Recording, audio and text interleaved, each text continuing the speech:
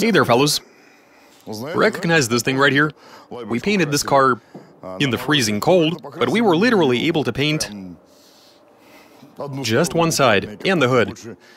That's when we ran out of time. Man, we really wanted to make it look sharp. Anyway, so I stumbled upon this interesting thing. You guys are aware of pendulum painting, right? When people find a can, some kind of bucket or bottle, which they then puncture in order for the paint to start dripping, then they hang it, and the pendulum. So you've got a canvas on the floor, and the drawings turn out to be really trippy and cool. So we thought, why not take our car and paint it using that very same method? I mean, judging by the videos, it's not all that difficult. But what's it really like? Well, we're about to try. I'm pretty sure that the thickness of the paint, the size of the hole, and most likely the quantity of the paint itself, all of that has to affect how it's applied. We don't want it to come out in dots. What we need is a thin stream, or maybe not so thin. Alright, let's set everything up and paint the car. Let's do this. So we've finally gotten around to making our own merch. Here's what we got so far. We're always adding new stuff and we'll ship you anything to anywhere in the world. Oh yeah, and one more thing. The first 100 buyers who use the code GARAGE54 will receive a 15% discount. So go ahead and hit the link in the description down below, and happy shopping! Pendulum Painting a Car, translation and voiceover by BMI Russian. Alright, so we have a car, some paint, some white spirit just in case we need to dilute the paint or wash our hands. I'm in my work clothes. Garage 54 branded stuff.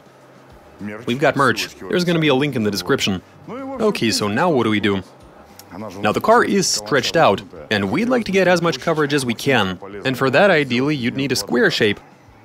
So we gave this a bit of thought, and perhaps we should remove the doors and place them on their sides for them to lay there. Move the hood in a bit, open the rear hatch. I mean, we're trying to paint as many panels as we can with the thing and the car in one position. We are working on it, and hopefully we do figure something out. Alright, let's go ahead and mask it then.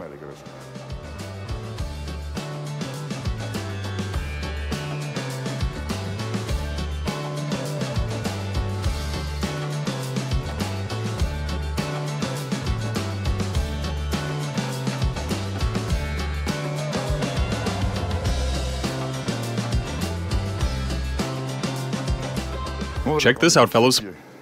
We've decided to remove the doors after all, and get everything into such a position as to paint as much as we can. As for why we came to such a decision, well, we simply don't have enough height. Now look, in order for us to give that paint bottle a good swing, for it to travel as far as possible, so to increase that pendulum's amplitude, we need that axis, we need more than we have. The point is that the rope has to be longer, but for that we simply do not have enough room. Placing the car on its side would make it even taller, which would mean shortening the rope, consequently reducing the amplitude, meaning we won't cover the car in just one attempt. And so here's how we're gonna go about it. We've got the roof, the doors, trunk lid all on one level. We were also considering placing the hood up here, but that'll result in the fenders being partially blocked off, as in the paint's not gonna find its way onto them. Whatever, let's try it this way for starters. If it so happens that we're not satisfied, we can always move the car to wherever we need it to be. Right. Enough talk. Let's go ahead and paint the car.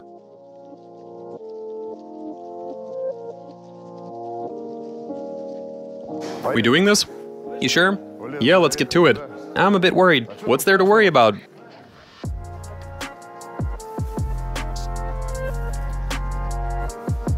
This is going very well. No problem.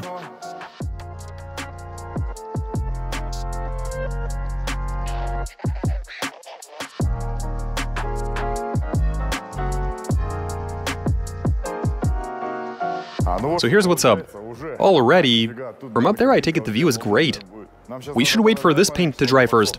Just give it 10 minutes. and then we can try another color. But here's how it's shaping out so far. We didn't really get that other door, but these have got such an intricate pattern going. Love it. Barely any paint made it onto the trunk lid. You know, this ain't half bad.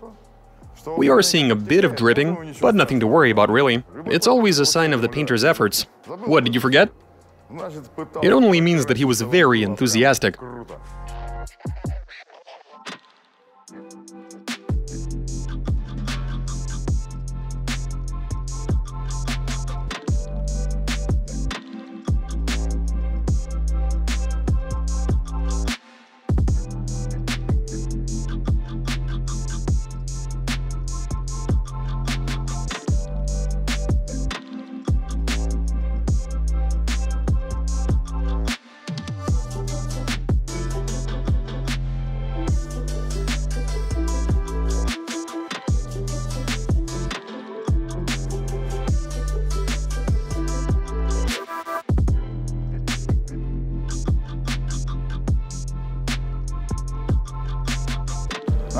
Every time it's drawing a new line.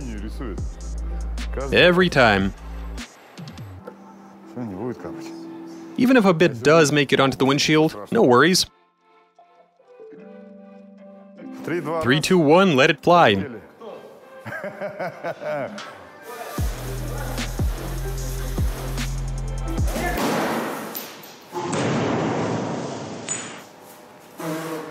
Environmental disaster. We have painted the floor, and we've run out of blue paint all of a sudden. That's for sure. I guess it had no place up there then. Which attempt is this? Like number three?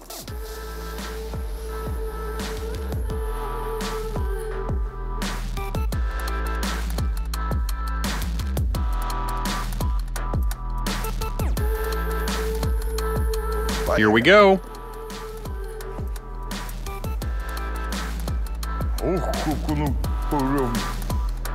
Look at it go!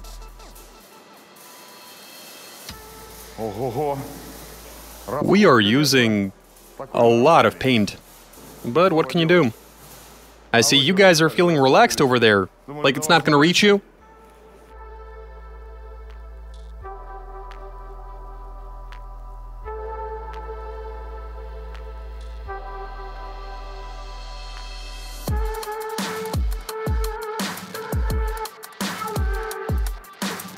Let's go.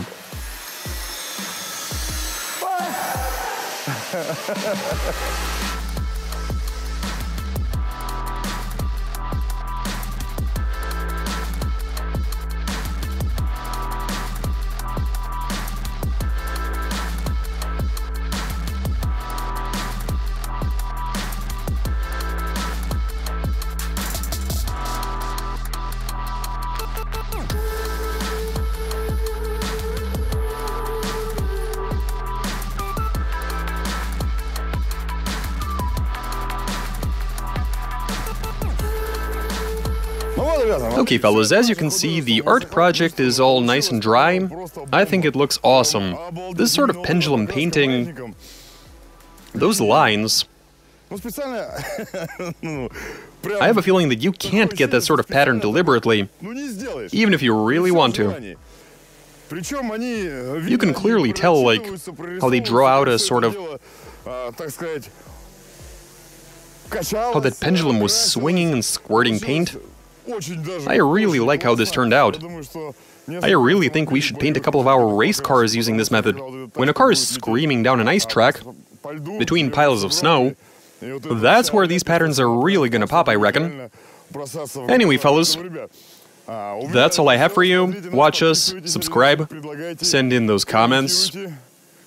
If you've got a race car yourself, you should use this method to give it a paint job. I mean, we know full well that race cars... Now, well, you don't completely lose mechanical sympathy for them. Still, though, when they're this colorful, they look really cool, you gotta admit. No need for a vinyl wrap, even. Awesome stuff. Right, watch us, subscribe, send in those comments and suggestions, give us a big thumbs up. Alright, catch you later. We have liftoff.